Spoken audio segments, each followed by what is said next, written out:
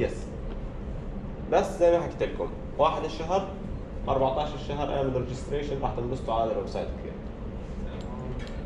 طيب اليوم راح نبلش topics جديدة إحنا أخذنا هيك revision خفيفة لطيفة عن المحاضره اليوم راح نبلش topics هيك لطيفة مرتبطة بعملية ال drawings وال design بس مواضيع كثير مهمة. لعمليات تنظيم ال drawing لعمليات إيضاح المعلومات. زي أنا مثلا لما أجي أشتغل أكون مثلا بدي أحط tagging على ال elements أو عم بشتغل بدي أحط أبعاد لل drawing اللي عم بشتغل عليها أو حتى بدي أشتغل وأنظم شغلي على layers هل حدا اشتغل على برامج تشتغل على layers قبل هيك؟